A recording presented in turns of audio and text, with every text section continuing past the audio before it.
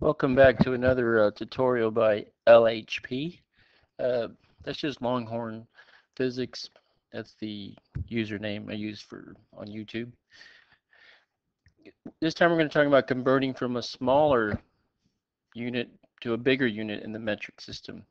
So the rules work pretty similar, and we're using the smiley faces again to uh, help you visualize uh, the conversion. So this time as you're taking notes. If you need to, draw the uh, little smiley face with the arrow going to a bigger smiley face with a division symbol. Uh, that's to help you remember that if you're going to go from a smaller unit in the metric system to a bigger one, you divide. So again, let me put our meter stick. Let's just pretend that's a meter stick. And we know there's a uh, 100 centimeters and one meter. And this time we got a new unit we're going to introduce when we practice this. We got a G and a kg. The G stands for grams. And 1,000 of those are equal to one kilogram.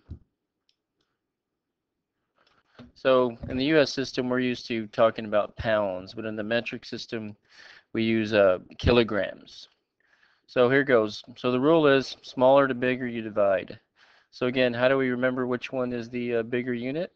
When you're looking at a list of the conversions, um, the one that has a one or nothing there is your, your bigger unit. So that must mean that a meter is bigger than a centimeter and a kilogram is bigger than a gram. So again, here's our meter stick. There'd be 100 of those centimeters in here.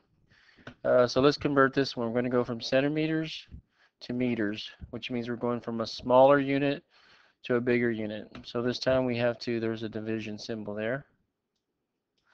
And what do we divide by? We divide by the number of centimeters in one meter. So we're going to divide by 100 there. So you take out your calculator real quick and you should get something like 2.72 meters. So if you take 272 centimeters, that's equal to about 2.72 meter sticks. All right, second one, we're going from gram to kilogram.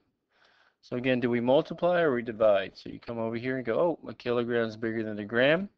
Why? There's the one there. So we're going to divide by how many grams are in a kilogram. So that's 1,000.